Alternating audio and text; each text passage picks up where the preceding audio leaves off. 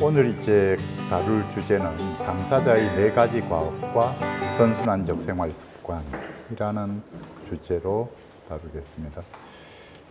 예, 제가 이제 요 강의는 많이 보셨을 수도 있는데 제가 치료의 핵심은 약물 복용 플러스 네 가지 요소다 라고 이제 이야기를 하는데 네 가지 요소가 제일 밑바탕에 보면 가족의 정서적 지원 그리고 사회적 지원 그, 그 위에 스트레스 관리, 증상 관리, 위기 관리, 선순환적 생활 습관 그리고 삶의 목표 이렇게 이야기하고 이거에 대해서 또 전문가들이 이제 지원을 해주는 부분이 정보 제공 지금 저처럼 이렇게 교육하는 교육을 해주고 지식을 알려주는 이게 이제 정보 제공이거든요. 그리고 이제 심리 상담, 그리고 재활 훈련, 기회 제공, 그리고 동료 지원 이러한 이제 지원들이 있습니다. 이야기고요. 그랬을 때 이제 당사자의 과업, 가족의 과업 네 가지 해서 지난 시간까지 이제 강의를 했었는데요. 가족이 자기 스스로를 잘 보살펴야 되는 과업하고 그다음 당사자를 위한 과업이 있는데 당사자를 위한 과업에서는 당사자와의 관계 개선하고 그리고 당사자에 대한 수용과 지원 이야기를 했었고요. 이제 오늘 이제 이 당사자의 과업 네 가지는 앞에 봤던 요 그림에서 가족의 정서적 지원 그리고 사회적 지원 이, 이 부분 지원을 제외한 나머지 네 가지는 원칙적으로 보자면 당사자 본인의 과업이라는 것이죠. 그러니까 약물 복용과 스트레스 관리, 증상 관리, 위기 관리, 선순환적 생활 습관, 삶의 목표. 요거는 이제 당사자 본인의 과업이다 하는 것이죠. 근데 이 당사자 본인의 과업은 다시 크게 보자면 병과 관련된 과업이 두 가지죠. 하나는 약물 복용을 하고 증상 관리를 해야 되는. 궁극적으로는 증상을 관리하자라고 하는 것이죠. 병이라고 하는 게 뭐냐 하면 증상이 나타난 것 자체가 병이니까 이 증상을 가라앉히자 하는 것이거든요. 증상이 삶에 영향을 최소한으로 미치게 만들자라고 하는 것이죠. 그래서 증상 관리하는 방법의 가장 대표적인 것이 약물 복용이고 그 다음에 그 이외에 스트레스 관리 매우 중요하고 위기 관리 매우 중요하고 수면 수면 습관 관리 이런 거 매우 중요하고 그런 것이죠. 그래서 아무튼 이 병을 잘 다스려야 된다, 잘 관리해야 된다는 것이고 또 하나가 이제 당사자의 과업이 삶과 관계된 과업이 결국은 그의 생활 습관 과 삶의 목표 이야기죠. 결국은 이제 삶에서 우리가 만족스러운 자신이 원하는 만족스러운 삶을 살자라고 하는 것인데 자신이 원하는 만족스러운 삶을 살기 위해서는 하루하루의 생활이 건전한 선순환적인 생활 습관이 갖추어져야지 되죠. 그래서 이, 이러한 생활 습관을 갖추는 이런 일이 있습니다. 하는 것이에요. 그런데 그 중에서 오늘 이제 마무리 시간에 제가 하려고 하는 이야기는 이 선순환적 생활 습관에 관계된 이야기를 좀 자세히 하려고 합니다. 하는 것이고요. 자, 선순환적 생활 습관이란 무엇인가? 그러니까 제가 이제 우리 당사자들이 현재 악순환에 빠져 있습니다. 이 선순환으로 돌아가야 됩니다. 라고 하는데 생활 습관 자체도 악순환이 계속 일어나게 하는 생활 습관을 갖고 있는 경우가 많이 있다라고 하는 것이죠. 그래서 선순환이 촉진되도록 하는 그런 생활 습관을 갖춰야지 되는데 선순환적 생활 습관이라고 하는 것은 건강한 생활 습관이라고 할 수 있고 이것은 또한 욕구 충족적인 생활 습관이라고 할 수 있습니다. 자기 자신이 원하는 게 이루어지고 원하는 게 충족되는 그러한 생활 습관입니다. 자, 회복 수기 우리 당사자들이 회복 수기에서 언급되는 가장 강력한 선순환적 생활 습관 두 가지가 하나가 운동이에요. 모든 종류의 운동, 운동은 무조건 도움이 된다. 그 다음에 종교, 모든 종류의 종교는 다 도움이 된다 하는 것이죠. 그래서 당사자들의 회복 수기에 보면 우리나라 같은 경우에 특히 그렇잖아요. 우리나라는 지금 약만 주고 약물 치료 이외의 지원과 도움이 거의 전무하다시피 하거든요. 물론 이제 최근에 와서는 이제 정신건강복지센터라든지 사회복귀시설 같은 게 있어서 어, 지역사회 내에서 생활하고 있는 당사자들을 도와주고 있지만 그 경우에도 보면은 어, 기능 수준이 매우 낮은 기능 수준이 매우 낮은 그 환자들을 대상으로 하는 프로그램들이 많기 때문에 에, 갓 발병한 당사자들이라든지 기능 수준이 높은 당사자들에게 도움이 될 만한 프로그램이 매우 적다 하는 것이고요.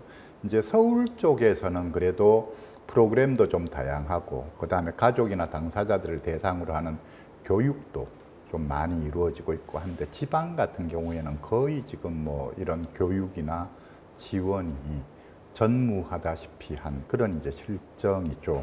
이런 실정에서 이제 가족들이나 당사자들이 다른 누군가의 도움을 받지 못하고 스스로의 힘으로 약만 먹는 상태에서 스스로의 힘으로 이제 병을 이겨내려고 노력하고 있는데 그랬을 때에 흔히들 언급하는 가장 도움이 되었다는 두 가지가 하나가 운동이고 하나가 종교다라고 하는 것이에요.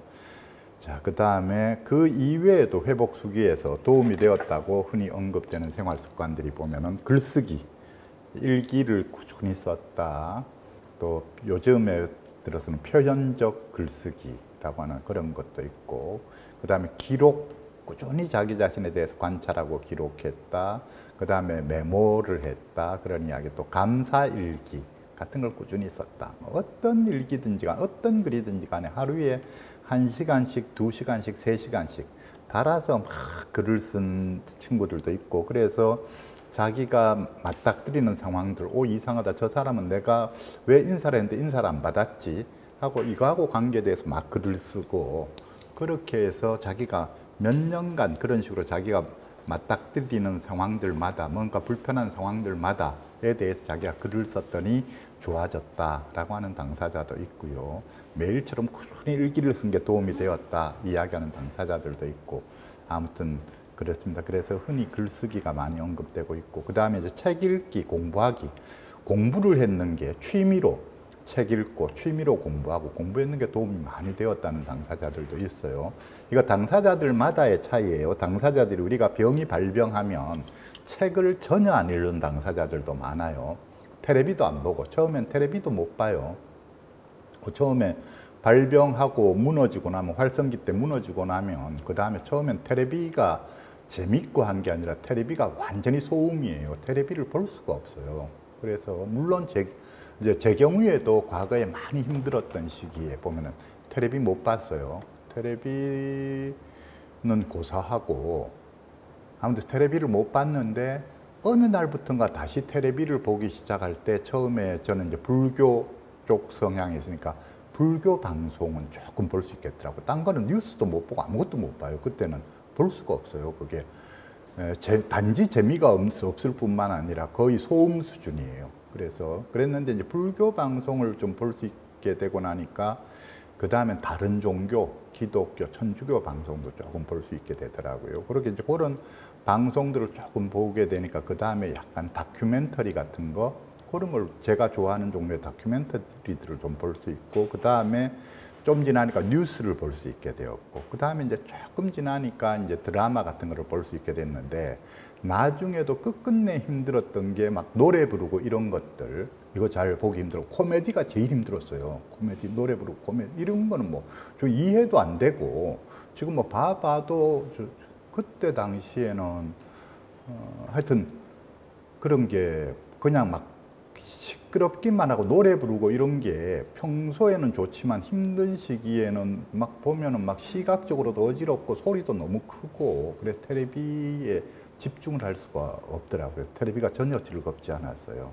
아무튼 그래서 이런데 이런 시기가 되게 되면 책도 당연히 안 들어오죠. 책을 보면은 그 전에 책을 책이 도대체 책을 읽을 수가 없고 들어오질 않아요. 저 같은 경우에 이제 대학 교수였는데도 불구하고 때때로 가다 책을 읽을 수가 없는 시기들이 있었다 하는 거예요. 그래서 어, 책 읽는 게 좀 힘들었는데 근데 이제 이렇게 책 읽는 게 고무력 활성기와 활성기 지나고 한동안에 좀 힘들다 하더라도 다시 책을 읽으려고 노력하면 책을 다시 읽게 되는데 흔히 보면 상당수 당사자가 아, 나는 이제 책 읽는 게 안 되나 보다 하고 책 읽기를 포기해버린 당사자들이 많이 있거든요. 그래서 발병한 이후에 책을 전혀 안 읽고 10년, 20년 세월을 지내는 당사자들도 꽤 있다 하는 거예요. 근데 그것에 비해서 또, 또 다른 당사자들은 뭐 자기가 좋아하는 책들, 시집이라든지 소설이라든지 또는 뭐 여러 자기가 좋아하는 그런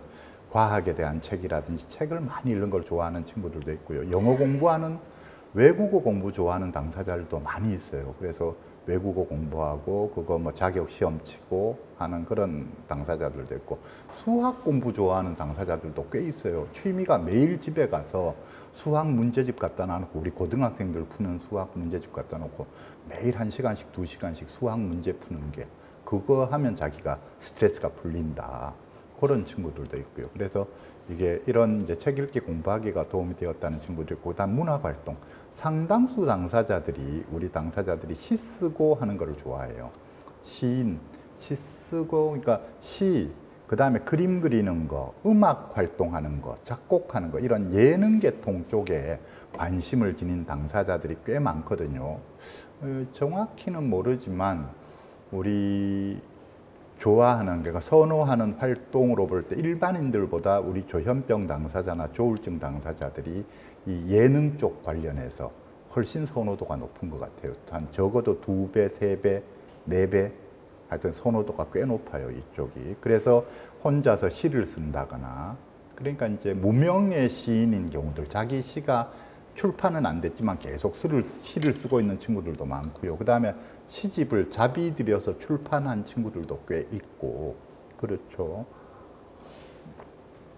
그래서 시를 쓴다, 수필을 쓴다, 소설을 쓴다, 아무튼 이런 종류의 문학 활동을 하는 친구들, 그다음 음악 활동하는 친구들, 노래 듣기는 누구나 거의 대부분의 뭐 열이 열이면 열에 일곱 여덟 명의 당사자들은 노래 듣는 게 취미인 그런 게 있고요. 그다음에 노래 부르기, 예, 노래방에 가서 몇 년씩 살았다. 이 당사자들마다 또 좋아하는 노래들도 종류가 다른데 뭐 힙합 같은 거 좋아하는 당사자들도 있고 랩 하는 거 좋아하는 당사자도 있고 또 어떤 당사자는 트로트 쪽에 취미가 있는 당사자도 있고 그래서 이건 다 달라요. 그래서 뭐 몇 년씩 노래방에 가서 매일처럼 노래를 불렀는데 그게 자기 도움이 되었다 이런 친구들도 있고 그 다음에 악기 연주하는 것을 좋아하는 당사자들도 있어요.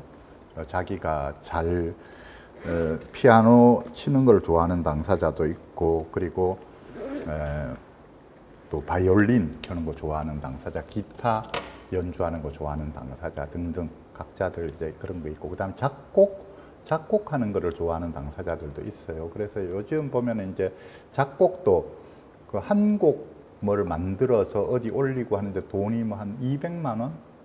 좀 비싸게 들면 500만 원씩 든다 하더라고요. 그, 그걸 몇 편씩 그렇게 만들어서 뭐 많이들 보지는 않지만 유튜브 같은데 자기 곡을 올려둔 당사자들도 꽤 있죠. 그래서 음악 활동, 그다음 미술 활동, 그림 그리기, 만화 그리기, 애니메이션 그리는데 취미가 있는 젊은 애들의 대세겠지만 우리 당사자들 중에서도 보면은 만화 그리는 거 좋아하는 당사자도 있고 그다음 공예 활동 좋아하는 당사자들도 있고요. 그렇고 그다음에 이제 동영상 보기, 인터넷 검색, 인터넷상에서의 교류 활동, 인터넷 카페 활동 같은 거 열심히 하는 당사자들도 꽤 있죠. 요즘에 이 인터넷 세상이어서 이게 우리 조현병 조울증 당사자들한테 한편으로는 참 좋고 한편으로는 이것도 좀 힘든 점인데 요즘 보면은 이제 과거에 없던 망상들이 이제 그런 거 있거든요. CCTV라든지 SNS 상에서 자기를 공격한다라든지 AI 인공지능이다. 이 어떤 고주파 주파수로서 자기한테 뭔가 생각을 주입한다, 소리를 들리게 한다 뭐 등등 이 현대 기기와 관련해서 망상을 갖고 있는 친구들이 꽤 있어요. 그래서 우리 당사자들 중에서는 스마트폰 안 쓰고 와이파이 자기가 있는 지역에서 와이파이 다 꺼버리고 뭐 그다음에 심지어는 전기도 사용하지 않는 집에 들어가면 전기 다 꺼버리고 이런 당사자들도 꽤 있죠. 현대 문명을 거부하는 당사자들도 꽤 있어요. 그게 망상하고 연결된 당사자도 꽤 있는데, 근데 또 적극적으로 이런 인터넷이라든지 현대 문명을 적극적으로 활용하는 당사자들도 있죠. 그래서 집에 고립되어 있지만 인터넷상으로 다른 사람들하고 계속 연락을 주고받고 인터넷상으로 세상에 대한 정보를 습득하고 자기 블로그 같은 거 운영하면서 거기에 자기가 계속 자기 생각을 글로 옮기 올리고 그런 당사자들도 꽤 있어요. 그래서 있고 그 다음에 이제 우리 당사자들끼리 하는 카페들이 여러 개가 있죠. 다음에 있는 파란 마음, 하얀 마음 카페라든지 또 우기 모임이라든지 과거에는 제가 카페지기를 했었는데 지금은 이제 다른 연지 미카엘한테 카페지기를 넘겼지만 사라의 열쇠라든지 그런 이제 인터넷 카페들이 있고요. 가족분들이 활동하는 카페는 아름다운 동행이라는 카페가 대표적이고 아무튼 그런 이제 인터넷 상에서 활동하는 당사자들도 많고 그다음에 그런 것들이 자기한테 도움이 되었다라고 한다는 것이죠. 그다음 여행 다니는 거 좋아하는 당사자들도 있어요. 자동차로 드라이브 하는 거 좋아하는 당사자도 있고 국내 여행 다니는 거 좋아하는 당사자도 있고 해외 여행 다니는 거 좋아하는 당사자도 있고 그러한 여행이 도움이 되었다 하는 당사자들도 꽤 있고요. 그 다음에 청소 청소가 도움이 되었다. 집안 청소를 바짝바짝하게 매일처럼 하루에 두시간세시간씩 해서 집안 청소하는 게 참 좋았다는 친구들도 있고 직업으로서 청소를 택하는 당사자들도 더러 있어요. 이 당사자들이 하는 이야기는 청소를 하고 있으면 이거 완전 천직이다. 청소를 하고 있으면 근심 걱정이 없고 마음이 편안하다. 그 다음에 청소 다 하고 나서 바짝바짝한 거를 보면은 기분이 좋다. 뭐 이런 이제 이야기하는 당사자들이 있죠. 그 다음에 막노동, 막노동 하는 당사자들도 더러 있고 꽤 있고요. 이제 이게 이제 막노동에 우리가 팀에 속하잖아요. 요 팀을 잘 만나면 우리 당사자들이 그 한 그 팀에 속해서 전국 여기저기로 옮겨 다니면서 그 일을 하면서 직업으로 하고 사는 당사자들도 있어요. 그다음에 단순 작업 하는 거 지금 우리 지금 보면은 공동 작업장이라고 해서 정말 한 달에 열심히 하루 네시간 다섯 시간씩 일하면 한 달에 한 1, 20만 원 정도 버는 그런 거에 또 열심히 나가서 그거 그거 열심히 하는 친구들도 있고 그다음에 이제 아르바이트들은 많이 하죠. 우리 편의점 아르바이트, 커피숍 서빙 아르바이트, 뭐 음식점의 설거지 아르바이트 등등 그런 이제 아르바이트들이 도움이 되었다는 당사자들도 있고요. 그 다음에 할 수만 있으면 아주 좋은 건 학업을 하거나 취업을 하는 거죠. 학교를 다시 복학해서 학교 다니는 것이나 또는 취업해서 회사를 다니는 것이나 공무원 생활하는 것이나 등등 이런 이제 일들이 도움이 많이 되죠. 그래서 아무튼 이런 종류의 모든 활동들이 자기가 다시 일어서는데 도움이 되었다라고 당사자들이 회복 수기에서 언급되고 있다라고 하는 것이에요. 자, 이제 제가 최근에 와서 계속 강조하는 그 내용들에 대해서 지금부터 이제 설명을 하려고 하는 거예요. 제가 강조하는 내용은 한 가지는 결심하기가 필요하다 하는 것. 근데 단순히 결심만으로는 부족하다. 가족들의 적극적인 지원이 필요하다. 그 이야기. 그 다음에 또 하나는 수면 습관이 매우 중요하다. 그 수면 습관에 관련된 이야기. 그 다음에 식생활 습관에 관련된 이야기. 그 다음에 산책. 산책이 기본이다 하는 것, 산책 및 운동에 대한 이야기, 호흡과 명상에 대한 이야기.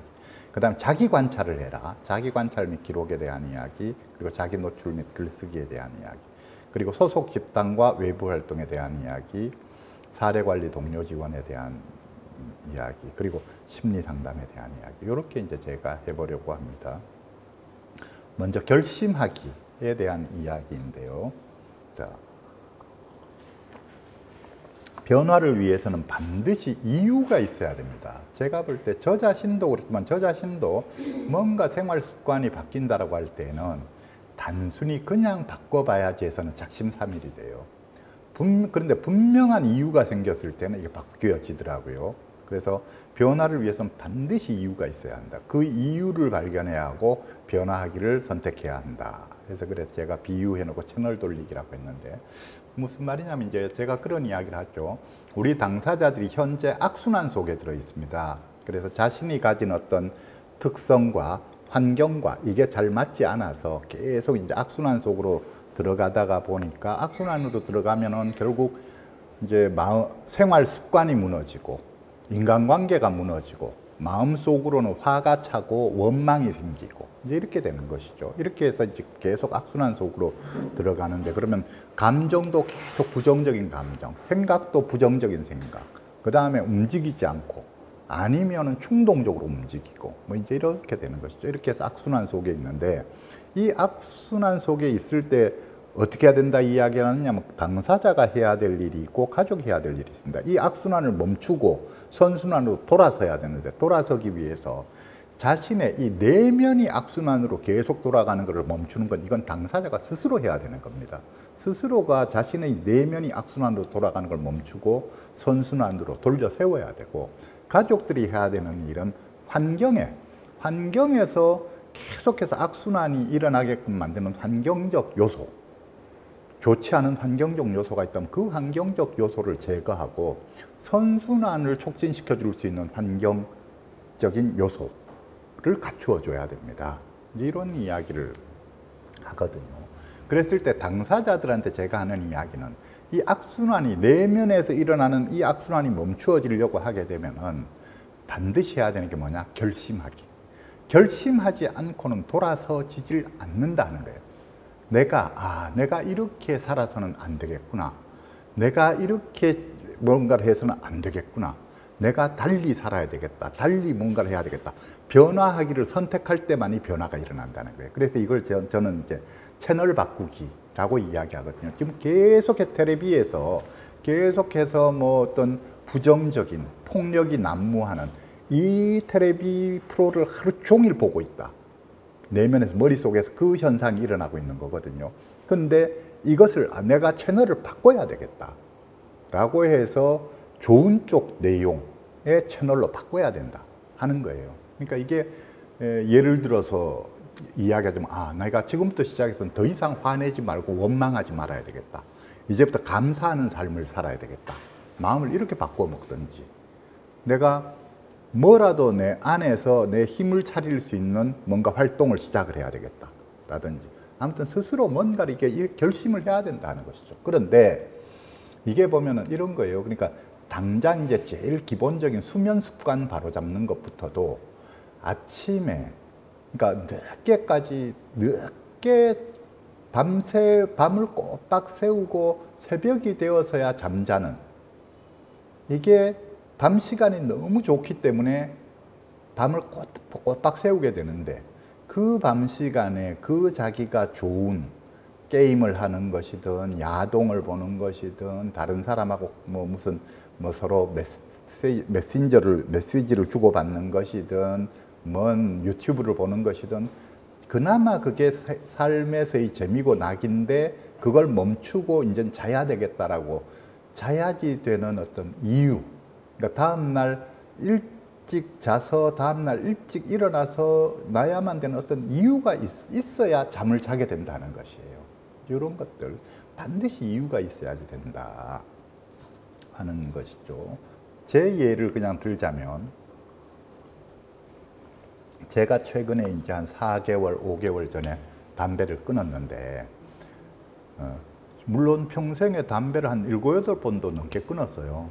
이렇게 끊었는데 어떨 때에는 뭐 불과 한 열흘, 2주 만에 다시 담배를 피우게 된 경우도 있었고 어떤 때는 한 8개월씩 이렇게 끊었다가 또 다시 피우게 된 때도 있었고 등등 했지만 여러 번 끊었다가 여러 번 실패하고 했죠. 그런데 이제 이 요번에도 끊을 수 있었던 계기는 그거예요. 최근에 제가 이제 호흡 수행 하려고 호흡 수행을 하고 있잖아요. 그래서 매주 화수목에는 양평에 들어가서 거기에서 새벽 시간하고 오전 시간에 호흡을 한단 말이에요.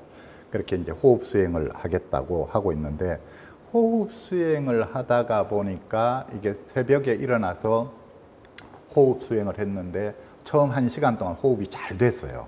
그날 한 4, 5개월 전에 그날 호흡이 잘 돼서 기분이 좋았는데 이제 한 5분, 10분 쉬면서 담배 한 대를 피웠단 말이에요.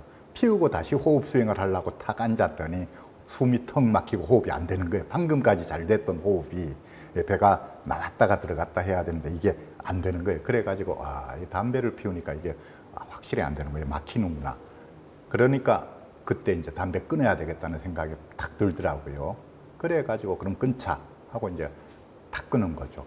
그러니까 호흡 수행을 하고 싶은 욕심에 호흡을 잘하고 싶은 욕심에 담배를 끊을 수 있게 된 거예요. 그러다 보니까 물론 지금도 이제 담배 끊고 아직도 한 네 달, 다섯 달 됐는데 담배 생각이 간절하게 많이 나요.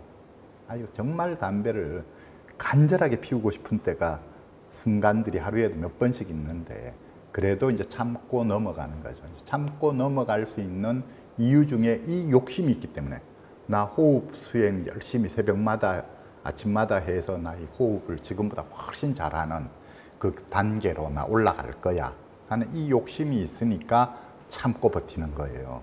그래서 저 같은 경우에는 이런 이유 때문에 담배를 끊었지만 담배 끊는 사람들마다 보면은 다들 나름의 이유가 있다면 건강 때문에 끊으시는 분도 있고 아내와 약속 때문에 끊는 경우도 있고 또 애가 뭐 애가 태어났다 또는 손주가 태어났다 그 기념으로 끊는 경우도 있고 뭐 등등 여러 가지. 근데 중요한 것은 그게 본인한테 중요한 이유일 때는 사람들이 그 작동을 한다라고 하는 거예요.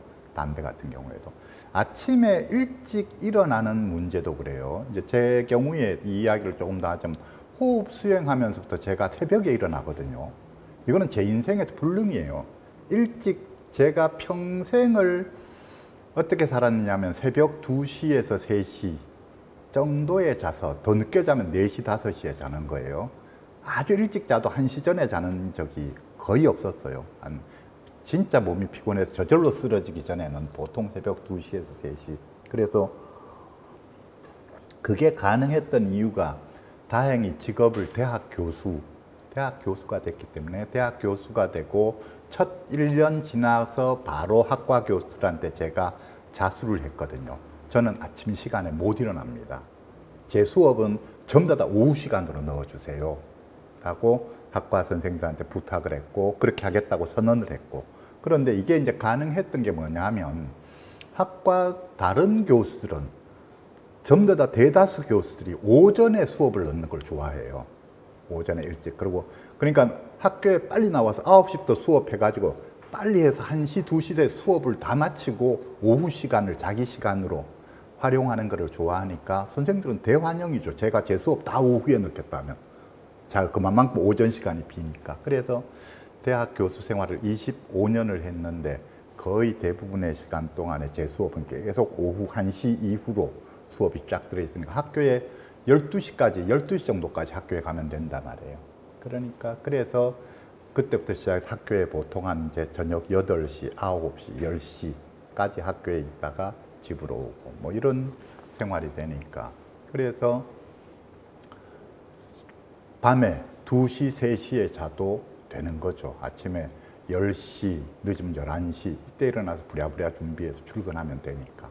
그래서 평생을 그렇게 생활을 했고 그 다음에 이후에 교직을 그만두고 나서 이 재은심리상담센터를 만들고 나서도 그러니까 저는 평생을 제가 이제 터득한 노하우가 어차피 늦게 자니까 오전 시간에 일 안 하고 늦게까지 자고 오후 1시부터 일하는 거. 이렇게 돼서 재은심리상담센터를 만들고도 한동안에 계속 고수했던 게 내 상담은 무조건 1시 이후에 잡아라. 1시 전엔 잡지 마라. 난뭐 그, 그, 못한다. 거기에다가 1시 전에 어쩌다가 상담이 잡히게 되면 몸 컨디션이 안 되니까 상담에 집중도 잘 못해요. 몸의 컨디션이 안 좋아서. 그래서, 그래서도 더더욱 잡지 마라 했고. 이렇게 됐는데, 이 부분도 그러니까 평생을 수면 습관을 그러니까 수면 습관에 대해서 나 저도 젊은 시절에 뭐 낮밤 바뀌는 경우가 많았고 평생 동안 아침에 일어나는 게 이게 아주 큰 과제였는데 밤에 일찍 자는 거 일찍 자지질 않으니까 항상 그래서 이, 이 수면 습관이 평생 동안 고민이고 이것 때문에 힘들어 했었는데 그러면서 스스로 터득한 방법이 늦게 활동을 시작하는 거. 그래서 오후 1시부터 나는 생활을 시작하는 거. 그래서 제가 이전에 제 동영상들에 보면 조울증 당사자들 그런 방법이 있다. 수면 안 잡히면 오후 1시부터 시작의 하루를 시작하는 삶을 살아라. 또는 경우에 따라서는 오후 3시부터 시작하는 삶을 살아라. 그래도 된다라고 이제 제가 이전 동영상에서 이야기하고 했었거든요. 그러면서 제가 이전 동영상에서 예로 들고 했던 분이 송창식, 가수 송창식 같은 경우에는 보면, 보니까 평생을 기본 일어나는 시간이 오후 3시에 일어나니까 그래서 오후 3시에 일어나 그때부터 시작 씻고 뭐 준비하고 그러니까 모든 스케줄을 다 저녁에 잡아두는 거죠. 그래서 연습도 음악 연습도 저녁에 하는 거고 그런 삶도, 삶도 가능하다 하는 것이죠. 그래서 자기한테 맞는 자기 생활 리듬에 맞는 그런 직업, 맞는 생 거를 찾아라 이렇게 했는데 오후 늦게 시작해서 오후부터 할 수 있는 직업이 많거든요. 예를 들어서 심리상담센터도 오후, 오후와 저녁 시간에 하면 되고 학원 같은 거 오후와 저녁 시간에 하면 되고 뭐 등등등등. 그래서 이제 이전에 조울증 환자들한테 수면 패턴이 정 힘들면 자기의 수면 패턴에 맞는 직업, 자신의 수면 패턴에 맞는 생활 방식을 찾아내라. 그렇게 하면 된다라고 이야기를 했었죠. 그러니까 저는 이제 새벽에 일어난다, 오전에 일어난다, 이건 제 삶에서 있을 수 없는 그거 생각 안 하고 산 지가 한 근 20년, 30년 세월을 전혀 그런 생각을 안 하고 살았는데 어, 호흡 수행을 하러 갔더니 거기에서는 호흡 수행하기 제일 좋은 시간이 새벽 3시 반부터 5시 반이라는 거예요. 스님들 생활하고 똑같죠. 스님들 보면 절에서 3시에 일어나고 하죠. 새벽 3시 반에서 5시 반이 호흡 수행하기에 제일 좋고 그 시간에 호흡 수행하는 게 다른 시간에 하는 게 10배 이상의 효과가 있다. 이렇게 이야기하고 그 시간이 제일 좋고 그 다음에 오전 11시 반까지의 시간이 호흡 수행하기 좋은 시간 오전 시간에 해야 되고 호흡 수행은 오후에는 하면 안 된다. 오후에는 해도 소용없는 정도가 해도 소용없다. 나아가서 하면 오히려 해롭다. 오후에는 하지 마라. 이래야 되거든요. 그러니까 호흡 수행은 새벽 시간에 하고 아니면 오전 시간까지 하고 오후 시간에는 호흡 수행 하지 마라. 그 다음에 저녁 시간에도 호흡 수행을 하더라도 저녁 시간에는 편안한 호흡 정도 그러니까 명상 그래서 제가 그 이야기 오 지금 제 이제 생활은 새벽 시간과 오전 시간에는 호흡 수행 그 다음에 오후 시간에 활동 그러니까 여러 가지 제 일하는 거 상담하고 일하는 거 그리고 저녁 시간에 가벼운 명상 이렇게 이제 배치를 했단 말이에요. 그래서 새벽 3시 반부터 5시 반이 호흡 수행하기 제일 좋고 아침 시간이 좋다니까 어 그럼 좋아 나도 새벽 3시 반에 일어나서 해보지 이렇게 되니까 어떻게 되느냐 밤 10시에 자야 된단 말이에요. 밤 10시에 안에 수련장에 들어가도 양평에 있는 석산 수련장에 들어가도 10시 되면 자야 되고 집에도 오면은 가능하면 10시 되면 잘라고 노력하고 이제는 이렇게 되니까 이전에는 그러니까 참 희한해요. 2시, 3시에 대해서 잘라고 해도 잠이 안 왔었는데 이제는 10시에 누워도 잠이 온단 말이에요. 잠이 오는. 어, 거기에다 그거를 조금 더 가능하게 했던 게 제가 집에 제 방에 있던 컴퓨터를 없애버렸어요. 그거를 제 방에 있던 컴퓨터를 양평으로 가서 양평에 있는 그 제 상담실에다 설치를 해두고 제 방에는 컴퓨터 없이 컴퓨터가 없으니까 확실히 좀 더 일찍 자게 되더라고요. 컴퓨터가 없으니까 어, 할 일이 없으니까 스마트폰으로 유튜브 좀 잠시 보는데 자기 전에 컴퓨터로 볼 때에 비해서 재미가 확 떨어져요. 컴퓨터로 볼 때는 화면 큰 화면으로 유튜브 보고 뭐 할 때는 재미도 있고 그다음에 뭐 검색하기도 좋고 했는데 스마트폰으로 하니까 느리기도 하고 화면도 작고 그러니까 뭐 조금 한두 편 뭐 좀 보다가 그냥 막 덮고 그냥 자는 거예요. 그래서 그렇게 됐는데 아무튼 이유가 생기니까 생전 그러니까 항상 새벽에 2시, 3시 돼야 잠자리에 누웠는데 그 전에까지 일이 빨리 끝나도 그냥 유튜브 보고 뭐 내 할 거 다 하고 2시, 3시 돼서 이제 야 비로소 잠자리에 들었는데 이제 10시에 잠자리에 드는 게 가능해졌다는 거죠. 이유가 생기니까. 호흡 수행을 하고 싶은 욕심이 생기니까.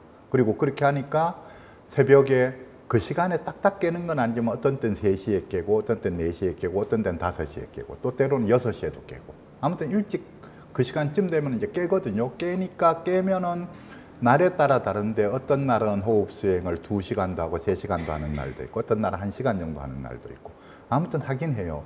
하긴 하고 그러고 나서 아직은 저게 안 돼요. 아직은 그때부터 움직이는 건 안 되고 1시간, 2시간 또는 때로는 3시간 정도 호흡 수행하고 그러고 다시 자죠.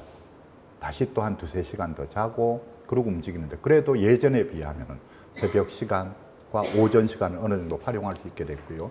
최근에 와서 제가 이제 그러다 보니까 상담도 이전엔 1시에 난 무조건 상담 예약 잡아야 된다. 1시 전엔 시작 못 한다 했는데 지금, 지금은 여기에서 대구에서도 11시 상담도 필요하다면 할 수 있다. 그래서 11시 상담도 하고 저쪽에 양평에 들어가면은 아, 필요, 10시 상담도 할 수 있다. 그래서 이제 하고 오전에 움직여진다는 거예요. 일찍 자니까 확실히 일찍 깨고 일찍 움직여지고 이렇게 되는데 이게 이유가 생기니까 이유가 분명한 이유가 있으니까 이게 가능해진다는 거예요. 이유가 없을 때는 평생을 되던 일이 아니에요. 이거는 그랬는데 이유가 있으니까 되더라 그 이야기고요. 그래서 이제 그 다음에 억지로 되는 일은 아니다. 근데 이게 뭐 잠도 그렇고 모든 사소한 생활 습관 하나 바꾸는 것도 잠도 그렇고 과식하지 말아야지 한밤중에 뭐 음식 꺼내 먹지 말아야지 등등 이런 사소한 것들도 하나하나가 억지로 되는 일은 아니다는 거예요. 그래서 종종 때가 될 때까지 기다려야지 된다. 또는 좋은 자기 인연을 만날 때까지 기다려야 된다. 때가 되면 변화가 일어나고 인연을 만나면 좋은 인연이 되는 사람을 만나면 변화가 일어난다. 그래서 때가 아니면 기다리는 수밖에 없어요. 가족분들도 당사자 집에 틀어박혀서 낮밤 바뀌어서 생활하고 완전히 생활이 엉망인데 방법이 없어요. 기다리는 수밖에 없어요. 때가 되지 않았으면 당사자 스스로도 그렇고 그런 것이에요. 그래서 이제 결심하기가 필요하고 자 이렇게 결심했을 때 그 다음에 가족의 적극적인 지원이 필요하다는 것이죠. 혼자 힘으로는 역부족이다. 가족들의 적극적인 지원과 동참이 필요하다. 그래서 자 나쁜 습관을 없애는 것 방금 제 이야기 들으면 담배 담배를 제가 끊는 데에 평생에 걸쳐서 일곱 여덟 번을 끊었다가 실패할 때 실패한 이유도 각양각색이에요. 각양각색인데 실패하는 가장 큰 이유 중에 하나가 가족하고 싸울 때. 기껏 갔다가 일곱 여덟 달을 끊었는데 집사람하고 대판 싸웠다. 후두루두루 떨리는 거예요. 그러면 나가 담배 생각이 간절하죠. 그럼 나가 담배를 한 대 피우면 그 길로 담배를 다시 피우게 되는 거예요. 그래서 집사람하고 싸워서 어, 담배 끊기에 실패한 거, 그 다음에 술좌석에 갔을 때, 술자리에서 이제 딴 사람들 피울 때 딱 한 대만, 딱 한 술, 술, 딱 한 대만 피우면 이건 소용없는 거거든요. 다시 피우게 돼요. 그래서 실패하는 거. 어, 아무튼 그런 경우가 많았는데 그렇기 때문에 이게 보면은 이렇게 예를 담배 하나를 끊으려고 할 때에도 옆에서 도와줘야 된다는 거예요. 아, 이 시기에는 담배 끊으려고 할 때 보면은 잘 안 되는 이유가 가족들 입장에서 신경질 억수로 나거든요. 담배를 끊으려고 할 때는 몇 달 정도 동안 처음에 한 처음 한 2, 3주 동안은 아주 사람이 괴팍하게 짝이 없고 사람이 그 전에까지 신경질을 안 내고 온순하던 사람이 사사건건 신경질을 내고 뭐 하고 막 안절부절하고 하거든요. 그러니까 가족들 입장에 짜증이 나는 거예요. 하도 신경질을 내니까 그러니까 가족들이 차라리 담배 펴라 그렇게 신경질 부리지 말고 하고 대판 싸워버리는 거예요. 그래가지고 이게 무너지는 경우들이 많고요. 그래서 그 시기에는 가족들이 당사자가 담배 끊는 거지만 가족들도 같이 담배 끊는다 생각하고 그 시기를 견뎌내 줘야 돼요. 신경질 내는 거 그거 받아줘야지 되고 자극하지 말고 받아줘야 되거든요. 그래야 담배도 끊을 수 있고 담배도 마찬가지고 술은 더더욱 담배가 이럴 진데 우리 알코올 중독자들 술 술 안 마시고 하루하루 알코올 중독자들이 술 끊는 거는 오늘 하루만 마시지 말자. 이렇게 해야 할 때 이게 그나마 하루 안 마시고 하루 안 마시고 지금부터 나 평생 술 안 마시겠다 이러면 술 못 끊거든요. 그냥 오늘, 오늘, 오늘 하루 안 마시는 거 성공하면 다행이다. 목표가 이제 이렇게 되는데 그 오늘 하루 안 마시도록 하는데 가족들이 같이 협조를 해줘야지 돼요. 잘해서 이 마음을 불편하게 만들지 말고 스트레스 받으면 잘 받아주고 해야 되지. 이 스트레스 받으면 술 생각이 나거든요. 그래서 술을 마시게 되는 거거든요. 담배도 없고 술도 그렇고. 그러니까 그런 것이기 때문에 옆에서 같이 담배든 술이든 이런 거 끊으려고 할 때 같이 도와줘야 되고요. 마찬가지죠. 과식, 자기가 과식 안 해야 되겠다. 밤에 냉장고 뒤져서 뭐 안 먹어야 되겠다. 등등 하면 가족들도 이 먹는 거에서 같이 이 절제를 해주고 해야 되지. 지는 갖다가 과식 안 하려고 애쓰는데 가족들은 뭐지 있거나 말거나 간에 그냥 저녁 시간에 맨날 그냥 푸짐하게 음식 차려 놔놓고 먹고 냉장고에 먹을 거 가득가득 딱딱 채워 놔놓고 하면 지 보고 지 스스로 혼자 힘으로 과식을 안 하고 버티기가 너무너무 어려운 것이죠. 이런 것들이고. 그래서 어, 그 다음에 또 보면 그러니까 나쁜 습관을 안 하는데도 가족들의 도움이 필요하고 좋은 습관을 갖는데도 도움이 필요해요. 처음에 산책, 제 처음 항상 이제 변화를 시작할 때 가장 먼저 해야 되는 걸로 제가 이야기한 게 항상 산책이거든요. 지 혼자 산책해라 하면 산책 못 해요. 산책을 가족이 같이 해줘야지 돼요, 처음에. 30분이든 1시간이든 그리고 가, 좋은 산책 코스를 개발해서 해야지 되고 이제 이런 식으로 가족들이 처음에는 산책도 그렇고 공부 이렇게 교육 들으러 오는 것도 그렇고 어디 뭔가 자기가 어디 뭘 알아보러 다니는 것도 없고 처음에는 다 큰 나이가 20대, 30대 된 자식이지만 데리고 같이 다녀야지 돼요. 지가 가자 하면 같이 따라 다녀줘야지 되고 이렇게 이렇게 할 때 이게 수월하게 뭔가를 시작을 할 수 있는 거거든요. 그래서 가족들의 적극적인 지원과 동참이 필요하다 하는 것이고요. 마찬가지로 흔히 보면은 가족들이 운전기사 역할을 해줘야 될 때가 많아요. 한밤중에도 바다 보고 싶다 가자 새벽 2시에 갈 수만 있으면 가주는 게 좋아요.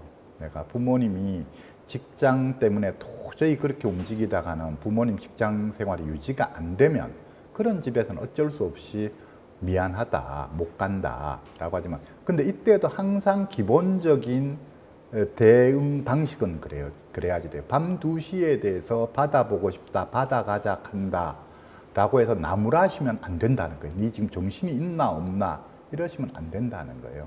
아, 그래서 참 네가 그러면 네가 기분 전환도 되고 네가 좀 살 것 같아서 그러는가 본데 내가 참 거기에 못 응해줘서 미안하다 해야 돼요. 조, 무조건 하고 그래 참 네가 그래 해, 하면은 내가 네가 원하는 대로 내가 해주면 참 좋겠지만 내가 여차여차해서 못 해줘서 내가 미안하다.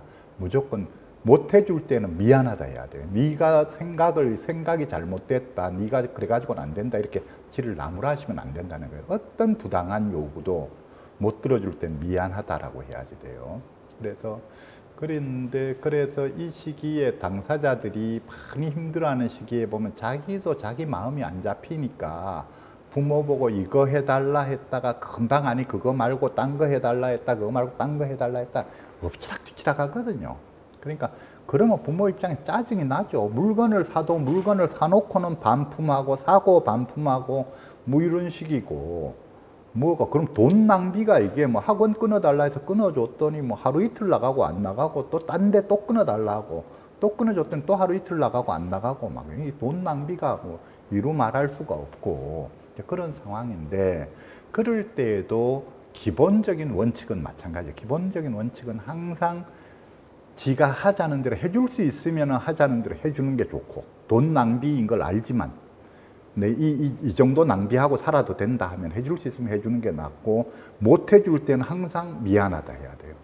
미안하다 해야 되는데 이때도 상당수 부모들이 보면 쥐어봤거든요. 니는 학원 끊어달라 해놓고 끊어줬더니 그거 하루 이틀 나가고 또 딴 데 끊어달라고 등등 이렇게 해서 나무라하게 되는데 그게 아니라 하루 이틀 끊어달라고 하루 이틀 나가고 안 나가고 딴 데 끊어달라 하면 딴 데 끊어달라 했는 것 자체를 가지고 일단 칭찬해 줘야지 돼요. 자기 그 움직이려는 마음이 올라왔는 거에 대해서. 그래 좋은 생각이다. 이야기해 줘야지 되고. 그런 것이에요. 그래서 부모들이 아무튼 부모들이 옆에서 많이 도와줘야 됩니다. 하는 것이에요. 그 다음에 그런데 이 도와줄 때 또 매우 중요한 점이 가족의 욕구와 선택이 아니라 당사자의 욕구와 선택에 기반해야지 된다. 자, 뭐를 할 거냐? 학원을 하나 등록할 때에도 지가 배우고 싶다는 거, 지가 가고 싶다는 대로 등록해 줘야 되고 학원뿐만 아니라 병원도 지가 가고 싶은 병원을 다니게 해줘야지 돼요. 지는 그냥 뭐 예를 들어서 동네에 있는 집에서 가까운 병원을 가고 싶어 하는데 부모가 뿌득불 서울대병원 가야 된다고 데리고 다니는 경우도 있고 또 역으로 지는 대학병원 다니겠다고 고집을 부리는데 부모가 그렇게까지 할 필요 있느냐 하고 또 뭐 하는 경우도 있고 등등한데 병원은 지가 다니고 싶은 데 다녀야 돼요. 주치의 자기가 좋다는 사람을 주치의로 해야지 돼요. 지금의 주치의가 마음에 안 들어서 회사 하면은 주치의를 바꿔줘야 되고 자기가 좋아하는 좋은 주치의로 이거는 병원도 그렇고 상담실도 그렇고 학원도 그렇고 뭐든지 간에 다 지가 좋다는 데를 가야 된다 하는 것이죠. 그리고 또 공부할 때 대학의 전공 뭐로 할 거냐. 이게 지가 좋다는 거 하게 해야 되거든요. 지가 좋다는 거 안 시키고 부모가 하라는 거 고집 부려가지고 예, 그 바람에 발병하고 하는 애들도 많아요. 지 하고 싶은 거 못하게 하고 해서.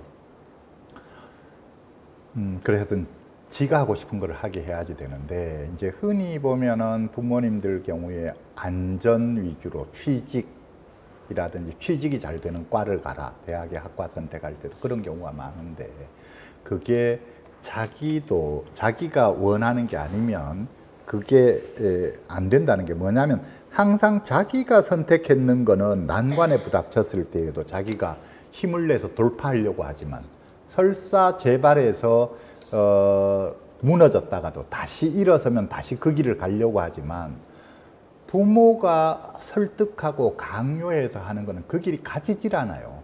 난관에 부닥치면 쉽게 포기해버리고 한 번 재발했다가 엎어지고 나면은 그 다음엔 두 번 다시 그거를 겉들떠도 안 볼라 하고 이렇게 돼요. 그래서 항상 가족의 욕구와 선택이 아니라 당사자 본인의 욕구와 선택에 기반해서 항상 그 무엇이든 결정해야지 됩니다. 그게 기본입니다. 이야기고요. 자, 그래서 아무튼 뭔가 변화가 일어나려고 하게 되면 결심이 필요합니다. 결심하기와 가족들의 적극적인 지원과 동참이 필요합니다 하는 것이고요. 자, 변화에서 제일 기본이 수면이에요. 우리가 이 병은 잠, 잠이라고 하는 게 무지무지하게 중요해요. 잠이 보약이다. 잠이 약만큼 내지는 약 이상으로 중요하다 생각하셔야 돼요. 잠이. 왜냐하면 뇌를 우리가 이렇잖아요. 뇌가 지금 혼란스러워졌단 말이에요. 지금 이 당사자가 발병한다는 것은 당사자가 안정 상태가 깨졌다는 거예요. 지금 불안정한 상태로 들어갔다는 거예요. 뭐가? 당사자의 뇌가 그렇잖아요. 우리 당사자의 뇌가 불안정한 상태로 들어갔다. 어, 그 다음 당사자의 몸이, 당사자의 마음이, 당사자의 환경이 다 불안정하고 어선한 상태로 들어갔다는 거예요. 그래서 이걸 치료라고 하는 것은 치료의 첫 출발점은 무조건 안정인데 뇌를 안정시켜줘야 되고 그 몸을 안정시켜줘야 되고 마음을 안정시켜줘야 되고 환경을 안정시켜줘야 된다. 무조건 안정이다. 라고 하는데 뇌를 안정시켜 주는데 매우 중요한 게 뭐냐? 자, 뇌를 안정시켜 주기 위해서 우리가 약을 먹는 이유가 뇌를 안정시켜 주려고 약을 먹는 거잖아요. 그런데 약만큼이나 중요한 게 잠이다라고 하는 거예요. 잠. 우리 조, 조현병하고 조울증이 잠이 약간 달라요. 조현병 당사자들은 3, 4일만 잠 못 자도 대번에 티나요. 한 주, 두 주 잠 못 자버리면 바로 재발해요. 조현병 당사자들은. 그래서 우리 조현병 당사자들 중에 발병했다가 약 먹고 약 꾸준히 먹으면서 대학 생활하고 해서 상당히 잘 일어서는 친구들이 어디에서 무너지는 경우가 꽤 있느냐 하면은 시험 기간이라고 밤새워서 자기 장학금 타겠다고 시험 기간이라고 이제 공부도 잘 되고 하니까 욕심이 난 거죠. 그 시험 기간이라고 밤새워서 한 주, 두 주만 밤새워서 밤샘 공부해 버리면 대번에 재발해요. 얘들. 그러니까 조현병 당사자들은 철칙으로 명심해야지 돼요. 딱 밤에, 예를 들어서 나는 밤 10시에 자는 생활을 한다.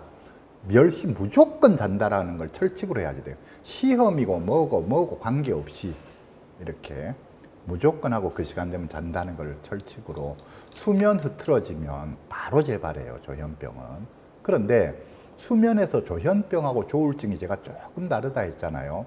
어떻게 다르냐면 조울증은 수면이 흐트러져도 바로 재발하지 않거든요.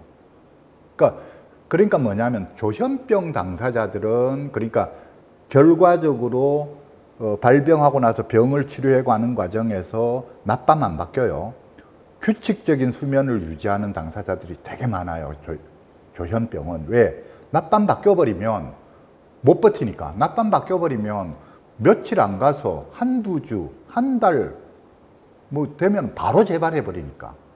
조현병 당사자들은 낮밤 바뀐 생활을 할 수가 없다는 거예요. 조현병 당사자들은 일반적으로. 어, 물론 이제 조현병임에도 불구하고 3교대 직업 갖고 하는 친구들도 있어요. 있는데 그거는 그만큼 자기 관리를 정말로 잘하고 있다고 보면 돼요. 이게 음, 조현병은 낮밤 바뀌는 게 매우 안 좋고 조울증은 낮밤이 바뀌어도 견딜 수 있어요. 견딜 수 있는데 이제 자기 관리만 잘하면 그러니까 이 수면 습관에서 그래서 한데 그러다 보니까 조울증 당사자들이 흔히 보면 수면 패턴이 무너지는 경우들이 많거든요. 조울증은 안 좋아질 때, 조증 들어갈 때도 그렇고 우울증 들어갈 때도 그렇고 무조건 수면부터 무너져요. 잠자는 것부터 낮밤이 바뀌는 걸로부터 시작된다 이렇게 생각하시면 돼요. 낮밤 바뀌면 무조건 상태가 안 좋아지는 거죠. 그래서 이제 조현병도 그렇고 조울증도 그렇고 이 병 관리를 하는 데서 매우 필수적인 게 몇 시에 자서 몇 시에 일어나는지를 늘 체크하는 거예요.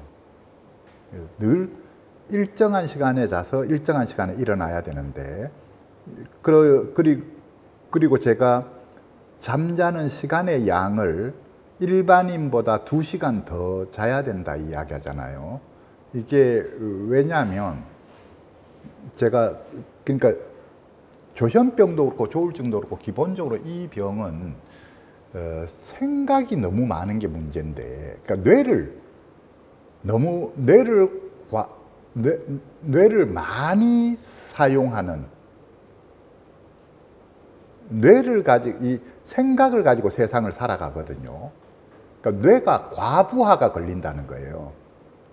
우리가 기계를 너무 많이 돌리듯이 뇌를 너무 많이 돌린다는 거예요. 일반인들에 비해서. 그러니까 이 과부하가 걸리니까 이게 탈이 나기가 쉽다는 거죠. 그러니까 따라서 낮 시간 동안에 뇌를 많이 쓰는 친구들이니까 그만큼 많이 자주는 게 당연하다는 거예요. 기계도 많이 돌렸으면 많이 쉬어줘야 되잖아요. 그것처럼 그렇기 때문에 제가 하는 이야기는 조현병 조울증은 약을 먹던 안 먹던 간에 관계없이 보통 사람보다 기본 두시간더 자줘라. 그, 그래야 뇌가 정상적인 상태로 유지가 된다. 이야기하는 거거든요. 하루에 두시간씩 일반인들보다도 더 자는 거에 대해서 절대로 억울하게 생각하지 마라. 그 본인이 어, 그런 이야기를 제가 하는데 아무튼 그렇기 때문에 제가 강조하는 거는 뭐냐면 잠에서 잠을 많이 자는 건 관계없다는 거예요. 잠을 많이 자는 거는 무조건 좋은 거다. 특히나 회복기에 활성기가 병이 확 해서 증상이 확 드러났다가 그 다음에 이제 약 먹으면서 이제 증상을 가라앉혀 가는 이 회복기 3개월, 6개월 동안 회복기 동안에는 잠을 많이 잘수록 좋아요. 과수면이 좋다는 거예요. 잠을 많이 자면 그만큼 뇌가 빨리 안정을 찾아요. 그래서도 어떤 면에서 의사들이 퇴, 발병해서 병원에 입원했다가 퇴원하고 나서 첫 3개월 내지 6개월, 길면은 1년까지도 약을 세게 쓰는 이유가 거기에 있을 수 있어요. 그러니까 약을 세게 써버리면 사회생활을 못 하거든요. 진정작용 때문에, 약의 그 부작용, 진정작용 때문에 계속 잠만 자거든요. 하루만 열, 기본적으로 14시간, 15시간, 17시간, 뭐 경우에 따라 20시간 약에 완전히 쩔어가지고 3개월, 6개월, 길면 1년까지도 계속 자고 이렇게 되는데 그게 의사들이 일부러 그렇게 하는 거라고 한다면은 그래도 합리적이고 타당한 거라 하는 거예요. 그러니까 지금 올 1년은 학교 휴학하고 학교 다닐 생각하지 말고 병 치료하는 데 전념합시다. 병 치료하는 데 전념하기로 했으면 일단 무조건 많이 재우는 게 좋은 일이에요. 많이 재우고 나머지 깨어 있는 시간 즐겁게 생활하고 이렇게 가야 돼요. 잠을 많이 자야 돼요. 그래야 회복이 빨리 된다는 거예요. 한 3개월 많이 자도록 하는 경우도 있고 6개월 많이 자도록 하는 경우도 있고 1년 많이 자도록 하는 경우도 있다는 거예요. 많이 자는 건 좋은 거예요. 많이 자는 건 문제 없어요. 그러니까 제가 하는 이야기는 수면 습관에서 몇 시에 잠자리에 드느냐 이게 제일 중요하다는 거예요. 자, 나는 매일 10시에 잠자리에 들겠다. 아니면 11시에 잠자리에 들겠다. 12시에 들겠다. 늦어도 12시 전에는 잠자리에 들어라. 밤에 자는 잠과 낮에 자는 잠은 다르다. 똑같은 잠을 자도 뇌를 쉬게 해주는 데에서 이게 다르다는 거예요. 그러니까 늦어도 밤 12시 전에는 자라. 더 좋기는 9시. 자, 이게 생활 습관이 저녁 먹고 나면 바로 돌아 누워서 바로 자는 사람들도 있어요. 8시, 9시. 자, 이게 아침에 자기가 예를 들어서 조울증인데, 조울증이나 조현병인데, 아침에 일찍부터 일어나야 된다. 남보다 2시간 더 자야 되는데. 아침에 일찍 일어나려면 방법은 간단해요. 자는 시간을 땡기면 아침에 무조건 일찍 일어날 수 있어요. 그러니까 자기가 일찍 일어나야 되면 아침 밤에 8시에 자는 습관, 9시에 자는 습관을 들이면 된다는 것이죠. 그래서 이 일정한 시간에 잠자리에 들고 대신에 자는 거는 푹 자라는 거예요. 푹 자야 된다. 그래서 일어났을 때, 아, 충분히 잤다. 나 개운하다. 이런 정도가 돼서 일어나라는 거예요. 그래서 제가 또 하나 하는 이야기는 잠하고 관련해서 절대로 알람 쓰지 마라. 우리가 알람 써서 억지로 깨서 움직이려고 하는데 우리 일반인들도 제가 볼 때 알람 쓰는 건 별로 좋은 습관이 아니고 조현병, 조울증은 더더욱 알람을 써서 억지로 일찍 일어나서 생활하는 이런 삶을 살게 되면은 뇌가 제대로 작동 못 한다는 거예요. 쉽게 탈이 나게 되고. 그러니까 알람을 사용하지 말고 밤에 잠자리에 드는 시간을 더 땡겨라 하는 것이죠. 이렇게 그렇게 이제 되는 거예요. 그래서 이게 이제 조현병보다 특히 문제가 이 조울증인데 이 조울증 당사자들은 밤에 잠 안 자고 있으면 그 시간이 너무너무 좋아요. 밤에 얼마 낮, 낮에 그냥 깨어서 이렇게 낮에 유튜브 보고 있는 거하고 음악 듣는 거하고 차원이 달라요. 밤에 음악 듣고 유튜브를 보고 있고 하면은 뭐를 책을 읽어도 그렇고 밤에 하는 게 낮에 하는 거에 비해서 막 이 좋은 느낌이 몇 배로 더 좋아요. 밤에는 깨어 있으면 깨어 있는 자체로 좋아요. 밤새도록 잠 안 자고 새벽 3시, 4시, 5시, 6시, 7시까지 또 잠 안 자고 있으면서 이 시간이 너무 행복하고 좋기 때문에 잠을 안 자고 싶어 해요. 기본적으로. 잠잘 생각이 없어요. 이게 몸이 활성화가 돼 가지고 잠이 안 와요. 잠이 안 오는 데다가 뭔가를 활동하고 있으면 더더욱 잠 안 오죠. 불 켜놔놓고도 티 뭐죠? 테레비를 보던 컴퓨터 앞에 앉아서 뭐를 검색해서 보던 불이 환하고 하면은 더더욱 잠이 안 오죠. 그러니까 잘 생각이 없는 거예요. 이게 근본 문제예요. 조울증 환자들이 낮밤 바뀌고 하는 게. 그러니까 자야 되겠다라고 생각해야 되는데 자야 되는 이유, 자야만 되는 이유가 있어야 낮밤이 안 바뀌거든요. 자야만 되는 이유가 없으면 조울증 환자들은 흔히 낮밤 바뀌어요. 흔히. 낮밤이 바뀌어서 밤을 꼬박꼬박 세운다고요. 흔히 낮밤이 바뀌어서. 그래서 에, 그렇게 되니까 그렇게 이렇게 자, 낮밤이 바뀌면 거기에서부터 시작해서 이제 무너지는 거예요. 낮밤이 바뀌면 나중에 돼서 어떤 사소한 일들이 계기가 돼서 우울증으로 빠지기도 하고 그 다음에 또 사소한 일들이 계기가 돼서 조증으로 튀어버리기도 하고 조울증의 경우에는 그렇게 된다는 것이에요.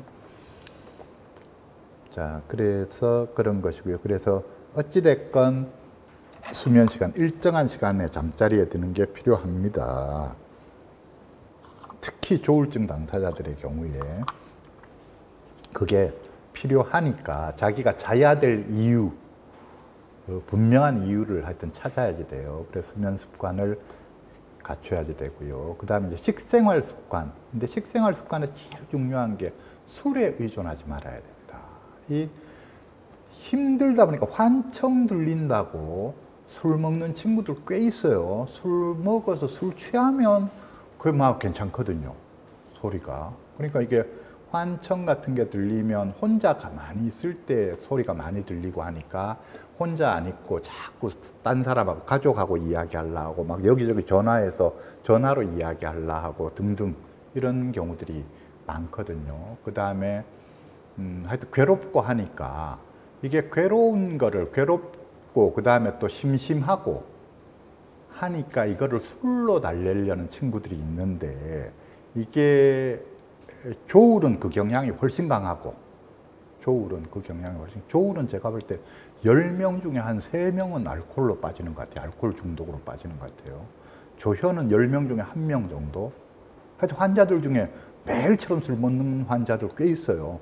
매일처럼 몇 년씩 술 먹어 대면 나중에는 자연스럽게 알코올 중독, 알코올 의존으로 가거든요. 그러면 제가 그런 이야기를 하는데 알코올 문제하고 이거하고 어, 조현병 조울증이 겹치면 그때는 더 우선이 되는 게 알코올 문제예요. 술 안 끊고는 조현병 치료도 없고 조울증 치료도 없다. 술 안 끊고는 인생 이제 간 거예요. 술 안 끊고는 아무것도 되는 게 없어요. 그래서 알코올 치료가 그때는 무조건 그 알코올 치료는 딴 거 없어요. 무조건 술 끊는 거죠. 그러니까 어, 단주 단주 하는 것만이 살 길인데 우리나라는 그래도 마약이 지금 덜 들어와서 앞으로 이제 우리도 점점 마약이 더 들어오니까 그래야 되겠죠. 미국 같은 경우는 마약이 문제가 돼요. 조현병 당사자, 조울증 당사자들이 마약하는 당사자들이 워낙 많아서 문제가 되거든요. 마찬가지에 술도 술 문제가 겹치면 알코올 중독이 겹치면 그 다음부터 조현병, 조울증 완전 뒤, 뒤, 뒤에 문제. 이거는 이 조현병, 조울증으로 속썩인 거 이거는 완전히 뒤로 가라예요. 알코올 문제가 이게 진짜로 심각한 문제로 등장한다고요. 그래서 그렇게 되는 것이고 마약 마찬가지죠. 마약이 그게 진짜로 이제 심각한 문제가 되는 것이죠. 그래서 알코올 중독이나 마약 중독에 빠지지 않도록 조심해야 된다. 애초에 술을 입에 안 대는 게 최선의 방법이다. 술을 입에 대더라도 정말로 최소한으로 하는 그런 것이 돼야 됩니다 하는 거죠. 그 다음에 또 하나가 식생활에서 문제가 되는 게 과식이죠. 이게 안 그래도 약 먹으면 몸무게가 보통 한 20kg 금방 쪄버리잖아요. 20kg 금방 쪄버리는데 그게 이제 많이 먹고 안 움직이니까 그런 거거든요. 근데 그게 이유를 정확히는 몰라요. 이유를 정확히는 모르는데 이 약의 항정신병 약 들의 입맛이 땡기게 만드는 게 뭐가 있는 모양이다. 그런 작용이 있는 모양이다라고 추측만 하죠. 근데 이게 과학적으로 연구를 해도 잘 밝혀지질 않으니까. 한데 어찌됐건 모든 당사자들, 거의 모든 당사자들이 10명이 약 먹으면 7, 8명이 몸무게가 금방 20kg가 쪄버리거든요. 그리고 다들 갖다 많이 먹고 안 움직이니까 분명히 뭐 뭐가 입맛을 땡기게 만드는 뭐가 있는 게 아닌가 이렇게 되는 것이죠. 그래서 이 살이 찌지 않도록끔 대비하는 당사자 본인의 노력, 가족들의 관심 이런 게 필요하다 하는 것이에요. 이 부분 특히나 이 단지 과식이 아니라 밤 시간, 저녁 시간, 밤 시간에 우리가 냉장고 뒤지잖아요. 자다 말고 일어나서 그래가지고 결국 밤에 뭔가를 많이 먹게 되는 게 흔히 우리 당사자들한테 일어나는 일이거든요. 그 심정은 충분히 이해해요. 그 정말 괴롭고 힘들고 즐거움이 없고 재미도 없고 그 유일하게 그냥 먹는 게 낙이니까 그 다음에 이제 이렇게 힘든 시기일수록 먹는 것도 먹으면 맵고 짜고 이런 거 먹지 않아요. 막 불닭 볶음면 다 모든 당사자들이 다 뭐 한결같죠. 뭐 무조건 매운 음식 좋아해요. 맵고 짜고 양념 팍팍 들어가는 거 이런 것들이 이제 달고 뭐 어떤 그런 것들을 좋아하죠. 그래서 이런 식생활에도 이제 관심을 가져야 되는 식생활에서는 아무튼 술이나 마약 피해야 된다는 거하고 그 다음에 무조건 과식을 피해야 된다. 어떻게 하면 조금이라도 적게 먹을까? 그거 생각해야 된다. 그 이야기고요. 쉬었다 할게요. 한 5분에 10분 쉬었다 하겠습니다.